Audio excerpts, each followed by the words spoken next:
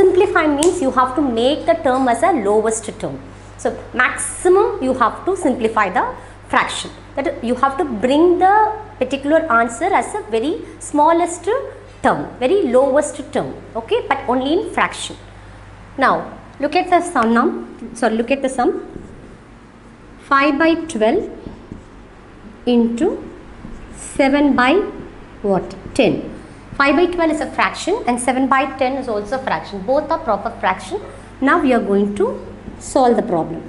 So 5 into 7 divided by 12 into 10 look at the sum. 5 into 7 that is if you want you can cross the number also. So 5 is can 5 5 5s are 1 so 5 2s are 10 so 1 into 7 divided by 12 into 2. So the answer is 7 by 24. The answer is 7 by 24. So hereafter you can't what? Make the term as very lowest because this is a what? Odd number and this is a numerator is odd number. This is a numerator, you know that. This is the denominator. So numerator is uh, odd number and denominator is a what? even number. So you can't uh, what you can't simplify the term. This is the very lowest term for this question. So this is the answer for this question also. Second sum 6 by 11 into 5 by 42. So 6 by 11 is a fraction and 5 by 42 is also a fraction. So both are what fraction? Proper fraction. So write it first 6 into 5 divided by 11 into 42. So you can cross the number if I take it means 6 ones are 6. So 6 sevens are what 42. So I'll write 1 into 5 you can get 5 what. After that you can get 11 into 7 that is 11 into 7 that means what you'll get that is 1 into 5 5 11 into 7 you can get 77 77 so thereafter you can't take the number. So 5 by 77. 1 into 5 you can get 5. 11 into 7, 77. The answer is 5 by 77. This is the answer. Now we are going to solve the third sum.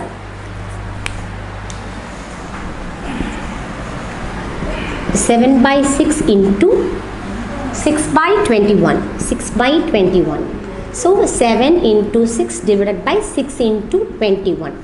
So what are you going to do? So first you have to write this is a fraction is a what? It's an improper fraction. Here is a proper fraction. 7 by 6. How could you say it is improper fraction? Because uh, 7 is a was a greater number. 7 numerator is greater than the denominator. 7 is greater than 6.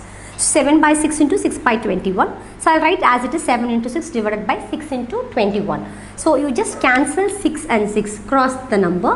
So you can get only 1. Okay, and after that I cancel with I cancel 7 by 21. 7 by 20, 7 sevens are 1. 7 divided by 7 you can get 1. 21 divided by 7 you can get 3. So 1 into 1 you can get 1. So here there is no number. So what? 1 into 3 you can get 3. So 1 by 3 is the answer for this question. Okay. Uh, the next sum is fourth sum I am going to solve. So 5 divided by 33 into 11 by 2. So first is a proper fraction, next is a improper fraction. So you write as it is. So 5 into 11 divided by 33 into 2. Very good. So you cancel with 11 first. So 11, 11 is divided by 11, you can get what? 1. 11 is divided by what? 3, you can get 3. So if you cancel with 11, it gets 1. You cancel with the same 11, 33 divided by 11, you can get what? 3 is the answer. Because 11 into 1 you can get 11 11 into 2 you can get 22 11 into 3 you can get 33 so I cancel with 11 so 11 divided by 11 you can get 1 33 is divided by 11 you can get 3 so what is the answer? So this is a odd number and this is a even number. So you can't cross the number. So 5 into 1 you can get 5 so 3 into 2 you can get what? 6 so 5 by 6 is the answer. So I just want to um, the same second sum similar to the second sum but only one difference. See here 55 by 42 see look at the second sum it's almost similar to this sum okay 6 by 11 here 5 by 42 in the second sum now i'm giving then i change the number 55 So I just cross with number 6 into this is a proper fraction, this is an improper fraction. How could you say it is improper fraction? Because numerator is greater than the denominator. A proper fraction because 6 is a 6 by 11 is a proper fraction because numerator is less than the denominator. So 6 into 55 is equal to 11 into 40 divided by 42 is equal to 6 into 55 after that 11 into 42 so i cancel with 11 so 1 here 5 so 11 5s are 55 so 6 i cancel with 6 means here also 1 here 6 7s are 42 so 1 into 5 you can get 5 1 into 5 you can get 5 so here 1 into 7 you can get 7 so answer is 5 by 7 but here 55 by 77 here second sum the same question but only one thing. Uh, I've given 5 by 42 here I have given 55 by 42 that is the difference. The answer is 5 by 77 in this sum you can get 5 by 7 this is the right answer for the question. Okay children